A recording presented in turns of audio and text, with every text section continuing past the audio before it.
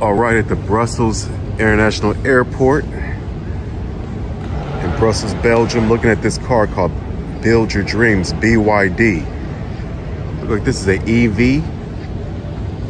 I don't think it's a hybrid. This is a car that we do not have in the United States right now. Looks pretty good. I like the tail lights, everything LED.